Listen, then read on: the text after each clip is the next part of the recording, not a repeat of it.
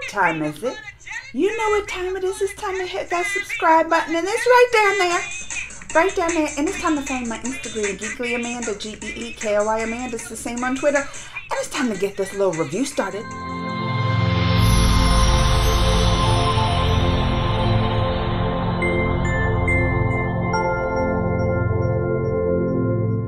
Alright, if y'all don't know, I love me some Cobra Kai. Yes, I've been watching the seasons, not since it came on Netflix when everybody wanted to jump on the boat. Oh no, I've been watching the Cobra Kai since it was on the YouTube Premium, right? Since season one. You know I've been there from the beginning. So this is why you're going to come to get your Cobra Kai news. From the Netflix, I got a screener. And let me tell you, it starts out right where it ends. Miguel's in the hospital up in a coma now, right? He's after the little fight up in the school when he fell and well, not just fell, the Robbie that, that part right there when you hear like the crack and everything, can't even handle it. But he, now he's in the hospital in the coma. Robbie's on the run. Nobody knows where Robbie is. He's he's done taking off. You know, then you got Johnny and they, they all feeling guilty about what happened because, you know, it was like their two, you know, dojos against each other in town and or against each other in school and they just started that big old riot up in the Kreese kind of took over the Cobra Kai dojo, right? Johnny's like out. He is out of this. John Kreese took over. And you know, like from the, the ending of this one, you can just tell this season, the new season, it brings out the worst in all the characters, especially one of the ones is, you know, the Hawk. Remember season one when you was like, oh, the poor Hawk, he got his little cleft lip and everything, and you rooting for him, and, and then he just gets worse and worse and worse. Well, now, these Cobra Kai people are under know, the training of the Kreese.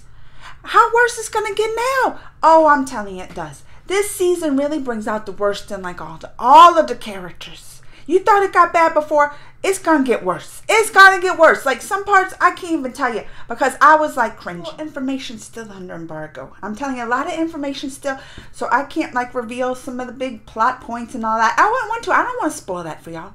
But what I am gonna do as I watched the season, I recorded little things, my little reactions after every episode for y'all. I they moved up the date to January 1st, so starting this Friday, Cobra Kai is gonna be on Netflix, and I'm gonna start releasing my little reactions after every episode because it's good. It is good, and some of these episodes, just like before, it leaves you like, what? It might bring back some old characters you know. Karate Kid Part 2. Remember he goes over there, over he goes over to to Japan over there and and falls in love with the girl. Well, you'll even see that girl, right? What was her name? I don't even remember, but she was cute. She had her hair up like that.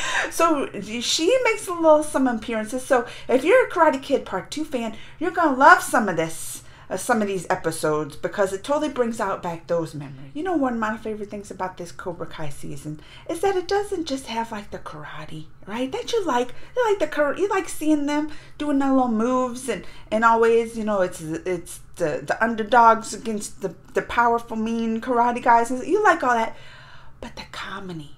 I'm telling you, some of the lines that they'll throw out just will out of nowhere and have you cracking up. Now, to be honest, I loved season one. That's when it hooked me in. Season two was good. It was slow at parts, and I was like, uh, some of it dragged. I think I said that in my review before that some of it dragged, but then what? It, it dragged, dragged, dragged, and then at the end you were just like, bam.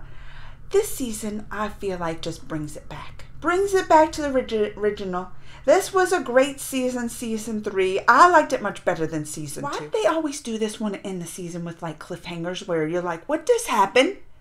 That's how it does this. It, it, it just has this pining for more because now I'm like, where's season four? I need to know things. What happened? And you know, I can't give the spoilers, but that's what I said. Starting Friday, I'm gonna start giving a little reaction to every little season. So be on the lookout. I can't wait. I know you can. You can't either. And in the meantime, let me know what you think. Comments, thumbs, all that. Till next time. Bye.